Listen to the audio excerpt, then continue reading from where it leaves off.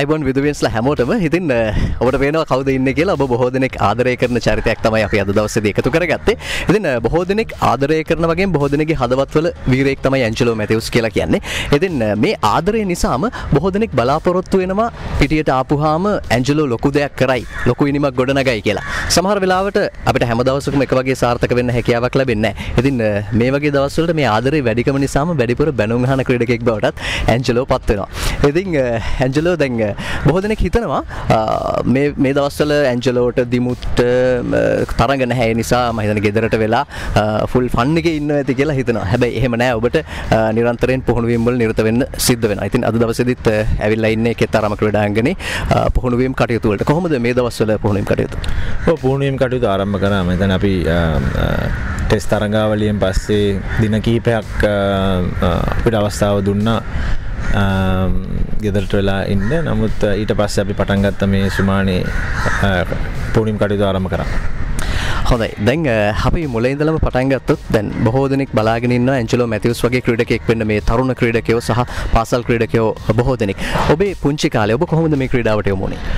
මම අවුරුදු නමේදී අටේදී විතර පමණ මගේ මදන් මගේ මට අවස්ථාව දුන්න නෑ වෙන ක්‍රීඩාවකට යොමු එන්න මම ඉස්සලාම ඇත්ලටික්ස් වලින් තමයි පටන් ගත්තේ. ඉස්කෝලේදී ඇත්ලටික්ස් කරා. නමුත් මගේ තාත්තයි අයියයි ක්‍රිකට් ක්‍රීඩා කරලා තිනවා ඉතින් මුළු පවුලම ක්‍රිකට් වලට හුඟක් ආදරෙයි සම්බන්ධයි. ඉතින් මට ඒ පැත්තෙන් චොයිස් එකක් තිබුණේ නෑ නමුත් මං ඇත්ලටික්ස් වලට තාසාවක් තිබුණා. නමුත් මං ඇත්ලටික්ස් ටික කාලයක් යනකොට නැවතුවා.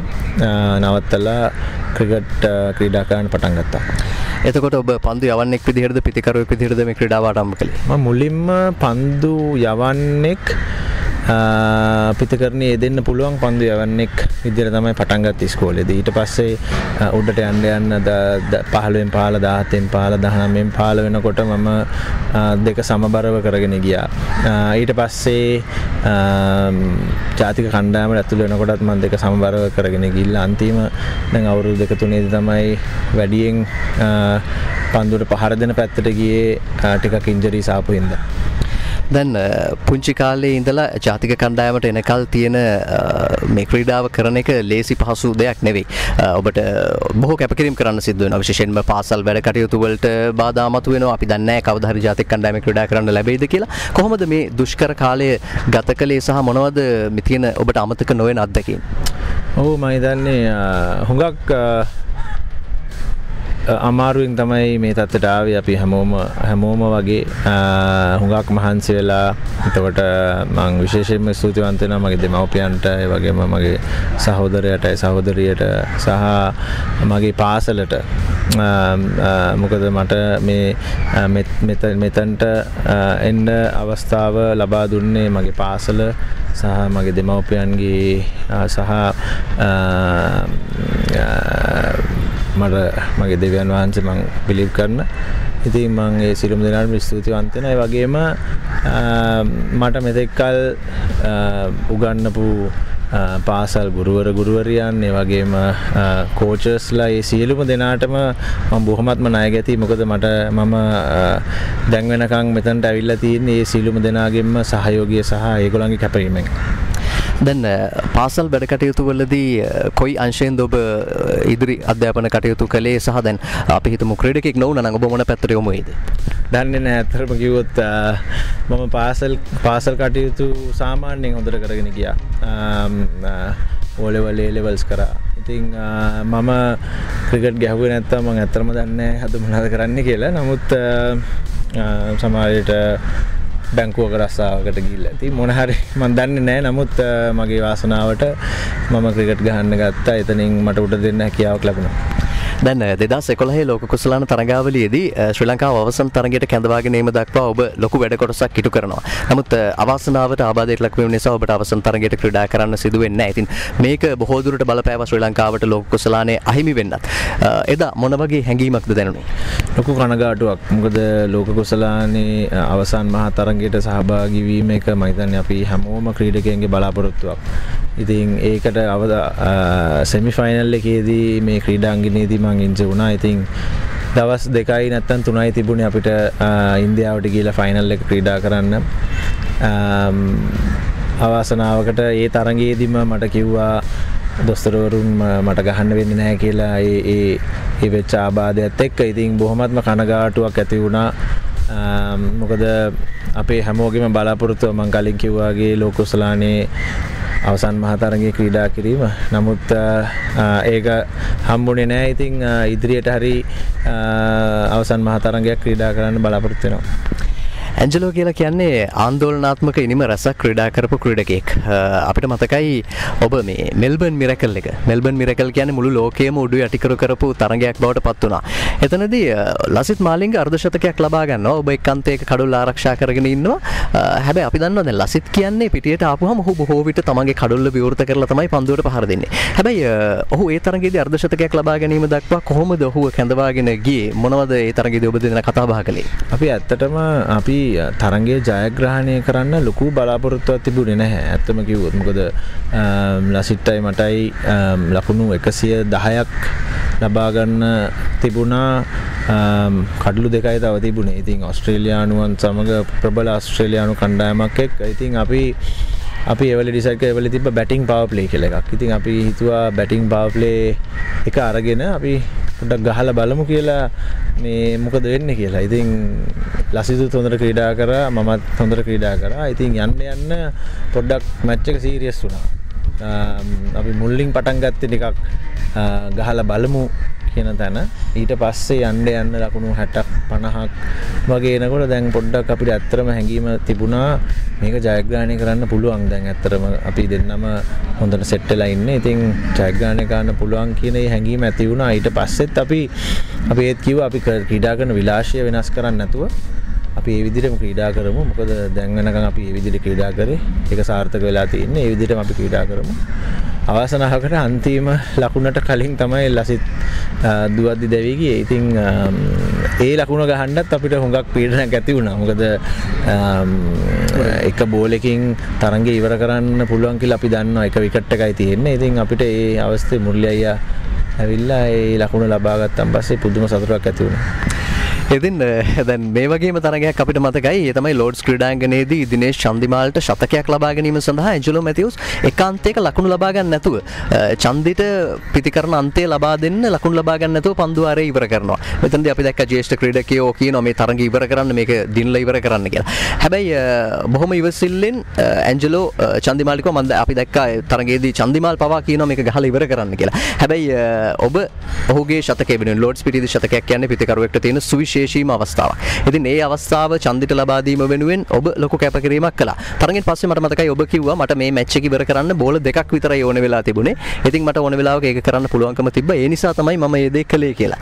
දැන් කොහොමද ඔබ ඒ එතකොට තරුණ ක්‍රීඩකයෙක් කණ්ඩායමේ ජ්‍යෙෂ්ඨ රසක් හිටියා. කොහොමද ඒ වගේ හයියක් හදාගන්නේ තරුණ ක්‍රීඩකයෝ ඒ තරම් විශ්වාසයක් හදාගන්නේ? නෑ කලින් කිව්වාගේ ලෝඩ්ස් පිටියේදී සතකයක් රැස් කර ගැනීම ඉතාම සුවිශේෂී දෙයක්. ඉතින් චන්දිමා ලකුණු 90 වගේ හිටිය අපිට ලකුණු 16ක් විතර තිබුණේ මං හිතන විදිහට ගහන්න ඕවර්ස් තිබුණා 15ක් විතර මං හිතන්නේ. මට හරියට මතක නෑ. නමුත් ඉතින් මං චන්දිමාල්ට කිව්වා ඔයා 100ට යන්න අපිට ඇතිතරම් ඕවර්ස් තියෙනවා අපිට ඇතිතරම් කඩලුත් තියෙනවා. ඉතින් මේක සුවිශේෂී අවස්ථාවක්. ඉතින් මේක ලබා ගන්න උත්සාහයක් දෙන්න.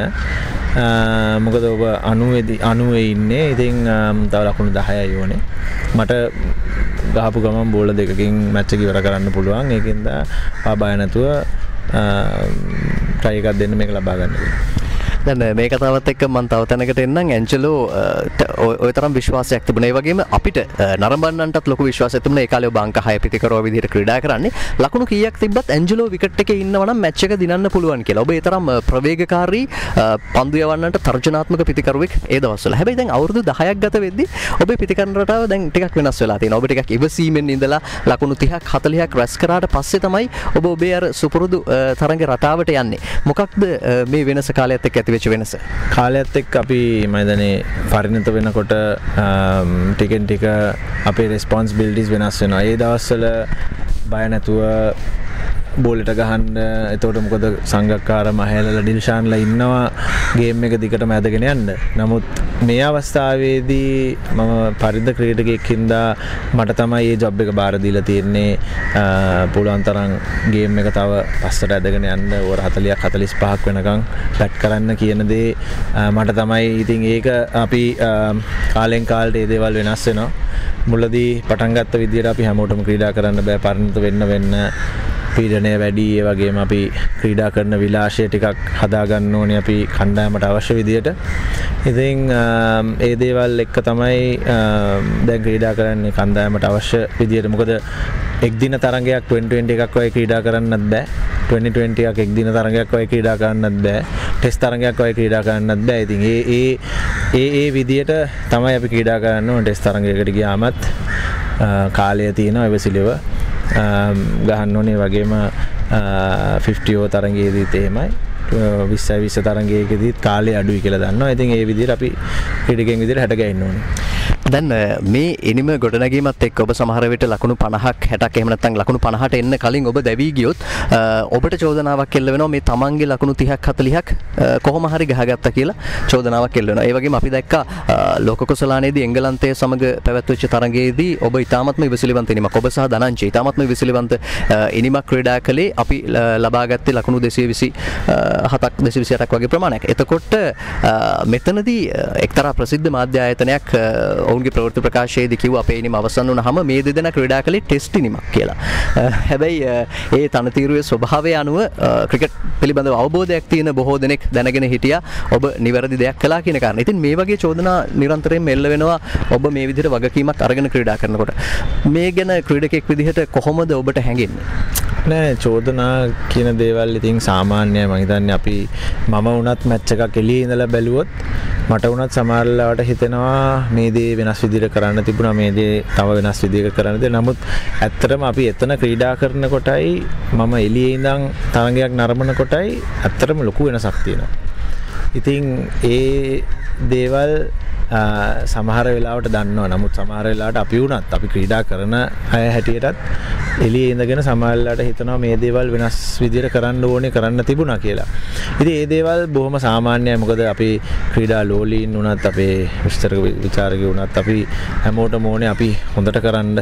ඉතින් හැමෝම අපේ කණ්ඩායමට ආදරේ ක්‍රිකට් වලට ආදරේ ඉතින් කේන්තියක් එනවා අපි තරඟ පරදිනකොට පරදුනොත් ඒ වගේම අපි හොඳට කරේ නැත්නම් කේන්තියක් එනවා. ඉතින් ඒ වගේම අපිටත් ලොකු කනගාටුවක් එනවා ලොකු කේන්තියක් එනවා අපි ගැනම අපි තරඟ පෙරදුනාමත් අපිට එහෙමයි. ඉතින් ඒ ඒ දේවල් ක්‍රීඩකයන් විදියට අපි හොඳ පැත්තෙන් බලන්න ඕනේ. මොකද අපිත් එක තරහවකට නෙමෙයි කවුරුත් ඒ දේවල් කියන්නේ අපිට ආදරේ හින්දා අපිට අපි හොඳට අපිව හොඳට කරන්න බලාපොරොත්තු වෙන්න අපි හැමතිස්සෙම අපි ක්‍රීඩකයන් විදියටත් අපි හැමතිස්සෙම එතන කවදාකවත් ගිහිල්ලා ඕන කමින් ෆේල් වෙන්න යන්නේ නැහැ මොන ක්‍රීඩකයෙක්වත්. ඉතින් අපි හැමෝම එතනට ගිහිල්ලා බලන්නේ කොහොමද අපි රට වෙනුවෙන් කණ්ඩායම වෙනුවෙන් හොඳට ක්‍රීඩා කරලා කණ්ඩායම ජයග්‍රහණය කරන්නේ කොහොමද කියන එක විතරයි. ඉතින් සමහර වෙලාවට අසාර්ථක වෙනවා සමහර වෙලාවට සාර්ථක වෙනවා.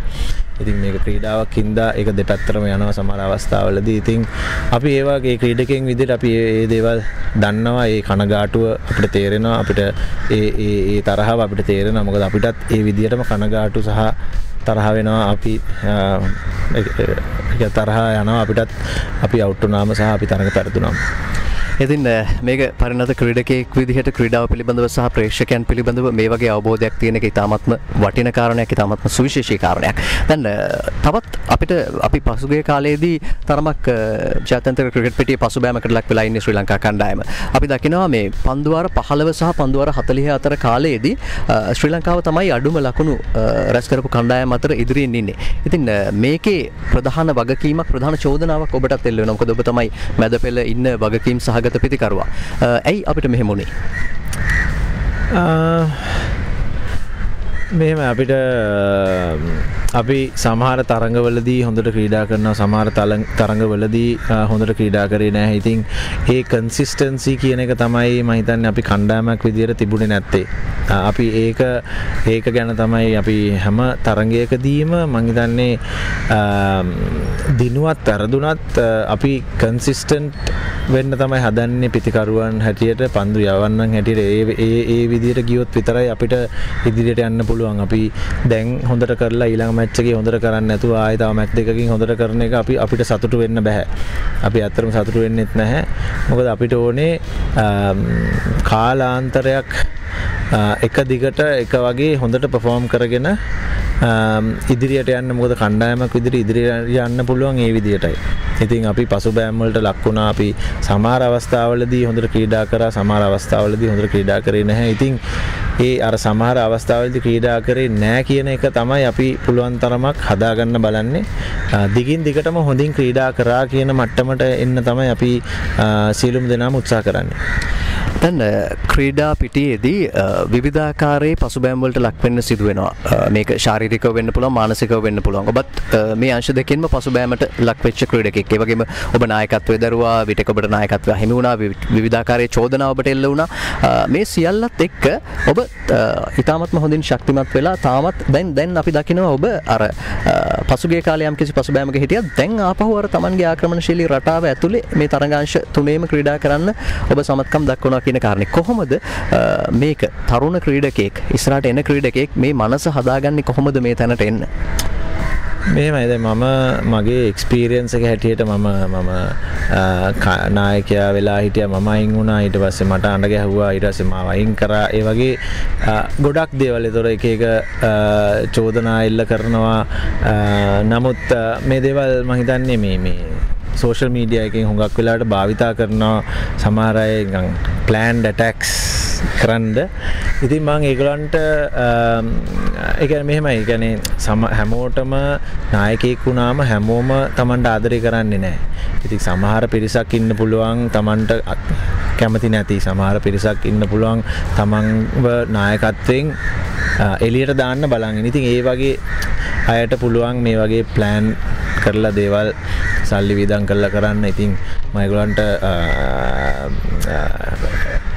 කනගාටු කනගාටුවට වඩා මහිතන මං ඒගලන්ට මේ සමාව දෙනවා. එකද අපි ක්‍රීඩකය විදියට මේ දේවල් නිරන්තර නෑ කිසිම දෙයක්. කැන්නේ නායකයා වුණත් නිරන්තරයෙන්ම නායකත්වය ඉන්න බෑ.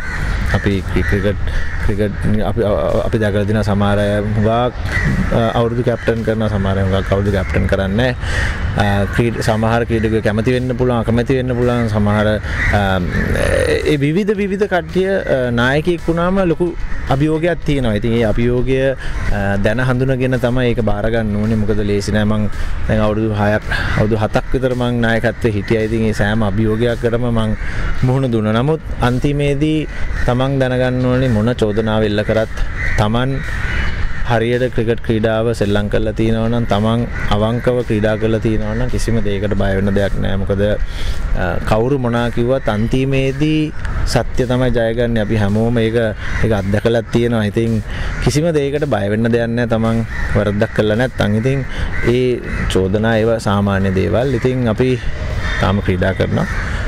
ඉදිරියටත් හොඳින් ක්‍රීඩා කරගෙන යන්න බලාපොරොත්තු වෙනවා.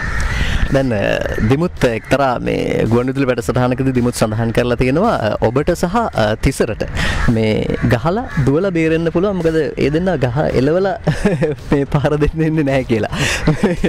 එතකොට මේ අපි දකිනවා මේ පිටි අපි ලකුණු ලබා ගන්නකොට මේ මම කලින් අහපු ප්‍රශ්නෙට මේක සම්බන්ධයි පන්දුවර 15ත් 40ත් අතර අපේ ලකුණු ප්‍රමාණය අඩු වෙන්න අපි කියනවා මේ අපි එක ලකුණ දෙක බවට පත් කරගන්නවා ටිකක් අඩු බවක් අපි දකිනවා. එතකොට මේකට යම් කිසි හේතුවක් තියෙනද ඔබේ ආබාධ තත්ත්වය එහෙම නැත්නම් ඔබට පහුගිය කාලේ චෝදනාවක් එල්ල වුණා ක්‍රීඩකයන්ව තුවද්දී දැවියාමට ලක් කරනවා කියලා. මේ වගේ දේවල් මේකට හේතුවක් වෙලා තියෙනවද? මේ එක ලකුණ දෙක බවට පත් නොවෙන්න. මෙහෙමයි මං අර කලින් කිව්වාගේ දැන් ඒ චෝදනා කරපු අයම මට ඇවිල්ලා සමාවිල්ලලා තියෙනවා මගෙන්. ඒ ඒගොල්ලන් කර දේවල් ඒ අවස්ථාවේදී කර දේවල් වැරදි කියලා. ඉතින් අපි මිනිස් සමාවදීම දේවගතියක්නේ. ඉතින් අපි හැමෝම මිනිස්සු අපි උත්සාහ කරන්න ඕනේ සමාව දෙන්න. සමාව දීලා අමතක කරන්නේ දේවල්. ඒ වගේම මම හිතන්නේ මැද මැදින් මැදදී ක්‍රීඩා කරනකොට ඕර් දහය දහයෙන් පස්සේ ක්‍රීඩා කරනකොට ක්‍රීඩකයන් පන්දු රකින්න එලිය ඉන්න හොඟක් වෙලාවට. එතකොට තමන් දුවලම තමයි දැන් මැද පෙළ විශේෂයෙන්ම ඕර් දහයෙන් පස්සේ හුඟක් දුවල තමයි ලකුණු ගන්න ඕන. ඉතින් සමාර අවස්ථාවලදී දැනෙන්න පුළුවන් මේ දේ එක තිබුණද නැද්ද? නමුත් මැද ඉන්න ප්ලේයට තමයි ඒක හරියම විනිශ්චය තියෙන්නේ ඔහුට යා පැත්තරේ අනිතන්තෙර දුවලා ඒ ලකුණ ගන්න පුළුවන්ද බැරිද? එම නැත්ත රිස්ක එකක් කරගෙන තමන් අවුට්ටනවාද ඉතින් ඒදේ හරියට තෝරබේරුම් ගන්න ඕනි ඉස්සල්ලා මැද දුවනකොට. ඉතින් තමන්ගේ අනිත් පාට්නත් බලන්න ඕනේ. අනි තනිත් පාට්නටත් මේ පැත්තර එන්න පුළුවන් වෙලාව තියෙනවද? ඉතිං ඒ වගේ දේවල් සෑහන්ට බලන්න ඕනේ මැද ඉදිතින් කලින් කිව්වාගේ මට වුණත් එලි එලිය ඉඳගෙන කියන්න පුළන් අර ලකුණු දෙක තුන වෙන්න තිබ්බා. නමුත් සමහර වෙලාවට අපි මැද ඉන්නකොට තේරෙනවා ඒ පන්දු රකින්න සමාට ඉක්මට බෝලට එනවා. හොඳ අතක් තියෙනවා. විසි කරන්න පුළුවන් බෝලි හොඳට. ඉති ඒ දේවල් සමහල්ලට තියෙන්න්න පුළුවන්. එද චෝදනා වලට ආයි මං කලින් ගියොත්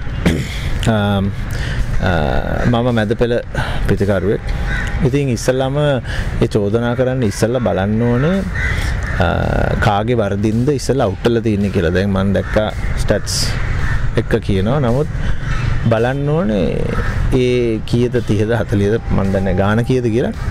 ඔක්කොම මගේ වර්දින්ද නැත්තං අනිත්වාදින්ද නැත්තං අන්තිම අවස්ථාවේදි දැන් පන්දු යවන්නන් එක්ක පිතිකරණය යෙදෙනකොට තමන් ස්ට්‍රයික් එක ගන්න දෙක දුවනකොටද කොහොමද? ඒ මංතන්නේ යම්කිසි දෙයක් කියනකොට හරියට ටිකක් මුලේ පාවිච්චි කරලා කියන්න ඕන අපි හැමෝම කියනකොට. ඊට පස්සේ ඇවිල්ලා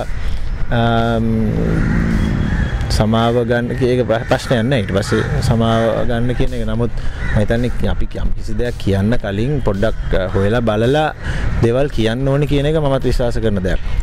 පැදිලිම දැන් ඇජලෝ මේ කතා කරපු කාරණේ ඉලක්කං වලින් ගොඩක් විද්‍යා කරන්න පුළුවන් ඔබ මුලා කරන්න පුළුවන් දැන් අපි උදාහරණයක් විදිහට ගත්තොත් අපිට කියන්න පුළුවන් කර්ට්නි බොල්ෂ් තමයි ලෝකේ වඩාත්ම නොදවි ඉනිම් ක්‍රීඩා කරපු ක්‍රීඩකයා කියලා. හැබැයි එතකොට අපි බැලුවොත් ඔහු අන්තිම පිතිකරුවා විදිහට ඇවිල්ලා නොදවි ඉඳලා තියෙනවා. හැබැයි ඒකෙන් කියන්නේ ඔහු ලෝකේ හිටපු හොඳම පිතිකරුවෙක් කියන කාරණේ. ඉතින් ඒ වගේ තමයි මේ දුවද්දී දෙවියන් අපිට ගණන් හිලව් එක කියන්න පුළුවන්. ඇන්ජිස් ප්‍රධාන කලා වගේ මොන සිටුේෂන් එකේද කොහොමද මේ දෙවියන් සිදුවුනේ කියන දේ ගැන අවධානයක් යොමු කළ යුතුයි. දැන් ඇන්ජි ඉතිම මහිතන්නේ ලිස්ට එක ගත්තු මතන ඒබඩ විලසුත් ඉන්නවා. උඩින්ම. මට මට මට මතක විදිර එමස් ඩෝනියම ඉන්න ඇති මහිතන්න ඒගොලන් එහම ස්ලෝ නෑනේ දරන්න උට්ටුනා කියල. ඒගොලන් ඒගොලන් ස්ලෝ කියල කියන්න පුළුවන්න එහෙම දෙයක් තියෙන ඉතින් එහෙම එම කියනකොට සාමාන්‍යයෙන් පොඩක් මොල කල්පනා කරල කියන එක තමයි මහිතන වටින්නේ අනිවාරෙන් දැන් සමාජ ජාල මාධ්‍ය පාවිච්චි කරන අපිත් කල්පනාකාරී වෙන්න ඕනේ යමක් කියපුවාම මේක පිළිබඳව ටිකක් හිතලා බලන්න. මොකද්ද මේක කියන්නේ? සමහර විට මේ කියන පුද්ගලයන් කියන්නේ Tamanට වාසි වෙන කොටස විතරයි ඔවුන් මෙතනදී උපුටා දක්වන්නේ. මෙතනින් එහාට තියෙන අනිත් දේවල් උපුටා දක්වන්නේ නැහැ. ඉතින් මේ ගැන අපි නිරන්තරයෙන්ම විදුව YouTube channel එකෙන් ඔබත් එක්ක කතා බහ කරනවා, ඔබව දැනුවත් කරනවා. දැන් හැමෝම බලාගෙන ඉන්න දෙයක් තමයි ඇන්ජි කවදද ආපහු පන්දු යවන්නේ කියන එක. ඇන්ජි අපිට මේකට උත්තරයක් දෙන්න පුළුවන් වෙයි. යවන්න පටන් ගන්න මොකද මම කොහොමත්ම 2020 වල පන්දු යවන්න බලාපොරොත්තු වෙනවා. බලාපොරොත්තුවෙන් හිටියෙත්. මොකද මට කරන්න පුළුවන් මේ අඩුම දේ තම ඒ ඕර් හතර ඒ ඕර හතරින් දායක වෙන්න කණ්ඩායමට. ඉතින් ඒ ඕර් හතරෙන් මං ඉස්සල පටන් ගන්න බලාපොරොත්වෙන ඉක්මනින්ම පටන් ගන්න බලාපොරොත්වෙනවා පොඩි වැස්සක් එනවා. අපි චුට්ටක් උඩට ගිහිල්ලා කතාව අපහු පටන් ගමු. හරි. ඉතින් වැස්සක් පටන් ගත්තා ප්‍රේමදාස ක්‍රීඩාංගණයේ. ඒ නිසා අපි චුට්ටක් උඩට ඇවිල්ලා අපහු කතාව පටන් ගන්න කල්පනා කළේ. ඇන්ජි දැන් මේ ඔබ පන්දු යවන්නෙක් විදිහට අපි දකිනවා අපි කියනවා ඉන්ටෙලිජන්ට් බෝලර් කෙනෙක් කියලා. මොකද ඔබ අවශ්‍ය අවස්ථාව මේ තැන හරියට තේරුම් අරගෙන ඔබ දන්නවා පන්දුව යැවිය යුතු ස්ථානය මොකද්ද? ඔබ මහා ලොකු වේගයකින් පන්දු යවන ක්‍රීඩකෙක් නෙමෙයි. හැබැයි ඔබ දන්නවා කඩුල්ලක් ලබා ගන්න කොහොමද පන්දු යවන්න ඕනේ? එහෙම නැත්නම් නැත්නම් ලකුණු පාලනය කරන්න කොහොමද පන්දු යවන්න ඕනි කියලා. ඒක අපි හොඳින්ම දැක්කා. බටහිර ඉන්දිය කොදෙව් කණ්ඩායම සමග ලෝක කුසලානයේ සමග තරගයේදී ඔබ ආපු පළවෙනි පන්දුවෙන් අපිට අවශ්‍ය දේ ඔබ කළා. කොහොමද ඔබ මේ තත්වයට හැඩ ගැහුනේ සහ තරුණ ක්‍රීඩකයන්ට අපි දකින ප්‍රධානම දේ තමයි මේ ලයින් ඇන්ඩ් ලෙන්ත් හරියට නැති එක. ඔවුන් කොහොමද මේ තත්ත්වයට හැඩගැහෙන්න ඕනේ? ඔව් මම හිතන්නේ විශේෂයෙන්ම අ, පන්දු යවන්නෙක් මම හිතන්නේ වේග පන්දු යවන්නෙක්ද ස්පින් බෝලක නෙද්ද කියන එක නෙමේ. ඉස්සල්ලාම තියෙන්න ඕනේ ලයිනන් ලෙන්ත් කියන එක තමයි ඉස්සල්ලාහම අපි අම්, කළ යුත්තේ. අපි හුඟක් වෙලාවට වැඩ කරන්න ඕනේ ඒකට. ඊට පස්සේ අනිත් සියලුම දේවල් හදාගන්න පුළුවන්. නමුත් ලයිනන් ලෙන්ත් කොච්චර වේගෙන් පන්දු යව්වත් ලයිනන් ලෙන්ත එකකට දාන්න බැරිනම් මහිතන හුඟක් බැත්ස්මල්ලා දැන්ගන්න අය ආ, පොඩ්ඩක්වත් බෝලට බයනෑ ඒකසේ හැටට දැම්මත් ඔහුන් බයනතු බෝල්ට ගහන ඉතින් ලයිනන් ලෙන්ත් කියනදේ හුඟක් වැදගත්.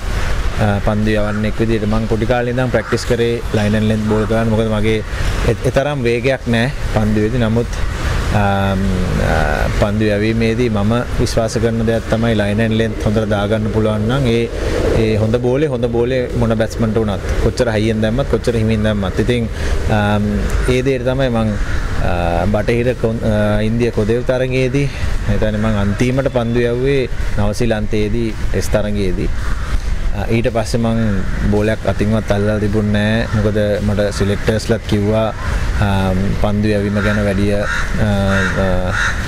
වරි වෙන්න එපා අපිට පිතිකරු අංශයෙන් ආම්, ඔයාගේ සහාය ලබා දෙන්න කියලා. ඉතින් ආම්, ඉතින් මං ඒක හින්දත් ආ, ආබාධ තිබුණ හින්දත් ආම්, මාස 10ක් විතර මං බෝල් කරලා තිබුණේම නැහැ. බෝල මාස 8ක් විතර මං බෝල් කරලම තිබුණේ නැහැ. නෙට් එකේවත් මම බෝල් කරලා තිබ්බේ නැහැ. ඉතින් මං පළවෙනිම වෙලාවේ මම දැනගත්ත ප- ඕ- අ- අ- මෑ- ඒ ඒ තරඟේ යනකොට ඕවර් දෙකක් එක්කෙනෙක් හදන්න ඕනේ කියලා ඒ වෙලෙදී නික්ලස් පූරන් බැට් කරපු හින්දා අපිට ස්පින කෙනෙක් දාන්නත් බෑ. තව ෆාස් බෝල කෙනෙක් හිටියෙත් නැහැ. ඉතින් මම දෙමුට්ට කිව්වා ඒ අපි ඉන්න හොඳම බෝලර්ස්ලා දෙන්නගෙන් ඒ වෙලේ විකට් එක ගන්න try කරමු. බැරි වුණොත් 48යි 50යි මම දාලා දෙන්නම්. අපි දැනට මෙයාගේ විකට් එක ගන්න try කරමු කියලා. නමුත් 48ට වෙනකම්ම මැච් එක ගියා. ඒ වෙලේදී ආම්, එක ඕවරයක් තිබුණා ලසිත් මාලිංගට ඉතින් අපිට අපිට අවස්ථාව තිබුණේ ලසිත් මාලිංගව ඒ ඕරේ දාලා විකට් එක ගන්නවද නැත්තම් ඒ ඕවර් දෙක මොකද ලසිත් මාලිංග එවලේ දැම්මොත් මට එක ඕරේ දාන්න වෙන්නේ හ- 50 වෙනි ඕරේ තව කාට හරි වෙන කාට හරි දාන්න වෙනවා. එතකොට එතනින්ුත් මැච් එක සමාට යන්න පුළුවන් හින්දා මම කිව්වා 48 මම දාන්නම්. 49 ලසිට දෙමු කියලා. ඉතින් වාසනාවට අ, ඒ කඩුල්ල ලබා ගන්න හැකි වුණා. ඉතින් අ, දැන් මං කලින් සඳහන් කළා වගේ අපි හැමෝම බලාගෙන ඉන්නේ ඇන්ජි කවදද අපහු බෝ- පන්දු යවන්න එන්නේ කියලා. මොකද අ, ඇන්ජි පන්දු යවනවා කියන්නේ අපේ කණ්ඩායමට ශක්තියක් වගේම ඔහු අ, මේ අංශ තුනේම අ, තුන්නිරයවෙම දස්කම් දක්වන්න පුළුවන් ලෝකයේ ඉන්න සුවිශේෂීම ක්‍රීඩකයෙක් විදිහට තාමත් අ, තුන්නිරයව ක්‍රීඩකයන් අතර ඉදිරියෙන් ඉන්නවා ඔහු අ, සෑහෙන කාලයක් පන්දු නොයව ඉඳලත්. ඉතින් අ, ඔහු පන්දු යවන්න එනවා කියන්නේ තාමත්ම සුබ ආරංචියක් අපිට.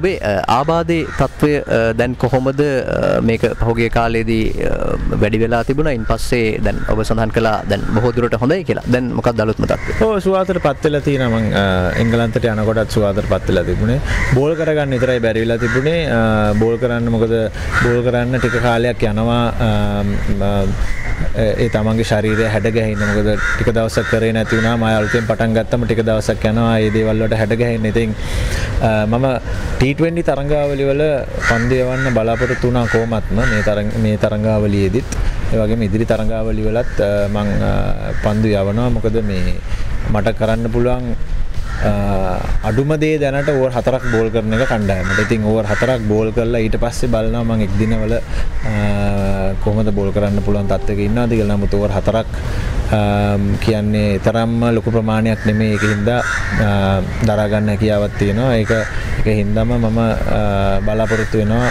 T20 වල බෝල් කරන්න. ඉතින් අ, විදු හැමදාමත් සඳහන් කරපු කාරණයක් තමයි ඇන්ජලෝ තුන්නිරියව්වෙන්ම අ, කණ්ඩායමට දායකත්වය ලබා දෙනවා නම් ඔහු තමයි ලංකාවේ ඉන්න සුපිරිතම ක්‍රීඩකයා කියන කාරණේ. ඉතින් අපිට නැවතත් ඇන්ජිව දකින්න හැකියාවක් ලැබෙනවා පන්දු යවන්නෙක් විදිහටත්. අ, එහෙමනම් දැන් අපි මේ කතාබහේ අ, ගොඩක් බැරෑරුම් දේවල් කතා බහ කළා. ඒ නිසා පුංචි පුංචි දේවල් කිහිපයක් ඇන්ජිගෙන් අහන්න ඕගොල්ලෝ දැනගන්න කැමති අ, දේවල් කිහිපයක් ඇන්ජිගෙන් අහන්න මම කල්පනා කළා. ඇන්ජි සාමාන්‍යයෙන් දැන් අ, ක්‍රීඩකයෙක් වුණාම කන්න කැමති කෑම වලට සීමා පැනවෙනවා. ඔබ කන්න කැමති කෑම මොනවද මේ වට සීමා පැනවිලා තියෙනවද?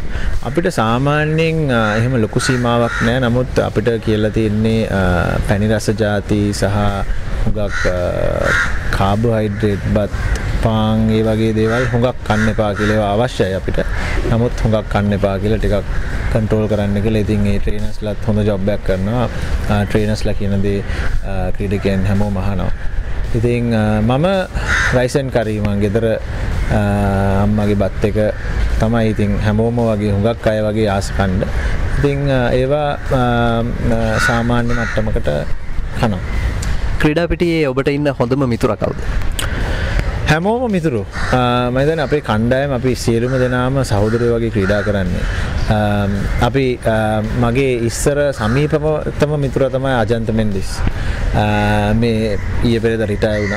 Um, නමුත් අනිත් හැමෝම මගේ හොඳ යාලු හොඳයි. දැන් අපි දකින ඔබ මේ කොහෙරි ටුවර එකක් ගිය හම එමනතං කොහෙර ක්‍රඩාංගනයට ගිය හම ගොඩ ක්‍රඩක පුරදුලයින්න කොහෙර ලස්සන තනගෙදල ෆොට එකක් දන්න. හැබයි අපි දකින ඔබ මේ ස්වබා සෞන්දර්යත් එක්ක බොහෝවිට ඉන්න එක්කෝ. ගංගාවක එමනත්තං මුහුදේ මුදුවෙරලක මේ වගේ චෑරූප තමයි දන්න. මේකට විශේෂ හේතුවත් තියෙනද ඇතරම මුහුදටයි ගස් කොළංවලට හුඟක් ආසයම තන ඒක මනස නිස්කලංග කරනවා මගේ. ඉතින් මම හුඟක් වෙලාවට මට හැකි හැම අවස්ථාවකදීම මුහුදට සහ ගස් කොළං ආශ්‍රිත තැන්වලට තමයි යන්න කැමති. දැන් විවේක වෙලාවට ඔබේ තියෙන විනෝදාංශයන් මොනවද? එහෙම ලොකු විනෝදාංශ නෑ. මගේ මගේ ෆැමිලි එකත් එක්ක ම හුඟක් වෙලාව ගත කරන්න ආසයි. ඒ වගේම මම මූවිස් බලනවා. නමුත් ලොකු විනෝදාංශ කියල නෑ. මුහුදර තමයි හුඟක් ආස. මුදේ මුදේ වෙලාව ගත කරන්න. හොඳයි. ඉතින් එහෙමනං අපි මේ කතාබා හමාර කරමු. මේ කතාබා හමාර කරන්න කලින් ඔබ ඔබට ආදරය කරන බොහෝ පිරිසක්කින්න වගේම සමාජ්‍යාල මාධ්‍යවලින් ඔබ එක්ක ඉන්න ඔබ වගේ කරන බොහෝ පිරිසක්කින්න වගේම විවේචන කරන පිරිසකුත් ඉන්න හැබයි මේ විවේචන ඔබ සඳහන් කලා විදිහටම මේ ආදරය වැඩි නිසා අපේ රටට තියෙන ආදරේ මේ තරඟ ජයග්‍රහණ කරන්න තියෙන කෑදරකම නිසා තමයි මේ විවේචනත් එල්ල වෙන්නේ. මේ ඔබට ආදරය කරන පිරිසට මොකක්ද අන්තිමට කියන්තියෙන් හොඟක් ස්තුතියන්තේ නමයි දන්නේ අපි හොඳට කරත් නරකට කරත් හොඟක් අවස්ථාවලදී හැම අවස්ථාවකදීම ඔගලන් හැමෝම අපිත් එක්ක ඉන්නවා ඉතින් ඉදිරියටත් ඉන්න කියලා ඉල්ලනවා ඒවගේම ඒ දෙන සියලුම සහයෝගයට බොහොමත්ම ස්තුතියි. ඉතින් හැන්ජි සඳහන් කලා වගේ වගේම විදු හැමදාමත් ඔබට සඳහන් කරනවා වගේ මේ ක්‍රිකට් ක්‍රීඩාව අපි එලිය ඉඳලා බලනකොට වගේ නෙවෙයි. මේක ඇතුළට ඇවිල්ලා ක්‍රීඩා කරනකොට මේක බොහෝ කැපකිරීම් තියෙනවා. ඒ වගේම බොහෝ තත්ත්වයන් අපි දකින්නවට වඩා අපි ටීවී එකෙන් දකින්නවට වඩා බොහෝ වෙනස් දේවල් තියෙනවා. ඉතින් මේ වෙනස් දේවල් ක්‍රීඩකයෝ දකින විදිහ කොහොමද ඔවුන්ගේ සිතුම් පැතුම් කතා බහ කරන්න තමයි විදු හැම විටම උත්සාහ කරන්නේ. සහ මේ තරගයක් ඇතුලේ තියෙන දේවල් මොනවද කියන දේ ඔබට කියා දෙන්න. ඔබට යම්කිසි දැනුමක් එකතු කරන්න මේ ක්‍රීඩකයන් පිළිබඳව අවබෝධයක් ලබා ලබා දෙන්න තමයි අපි උත්සාහ කරන්න. ඉතින් හැන්ජිට සුතිවන්ත වෙනවා අපිත් එක්ක එකතු වුණාට. ඒ වගේම සුබ පැතුම් එකතු කරනවා. හැන්ජි තුන්නිරයවෙම දස්කම් දක්වලා ලෝකේ හොඳම තුන්නිරය ක්‍රීඩකයා වෙලා ලංකාවට ජයග්‍රහණ රසක් අරගෙන එන්න හැකියාව ලැබෙන්න කියලා බොහොම ස්තුතියි අද දවසේ අපිත් එක්ක එකතු වුණාට. ඒ වගේම පල්ලෙහෙන් කමෙන්ට් කරන්න ඇන්ජි ගැන ඔබට හිතෙන දේවල්. තවත් දවසක අපි මේ වගේ කතා බහක් එක්ක හම්බ වෙමු. අදට ගිහිල්ලා එන්න. ජය වේවා හැමෝටම.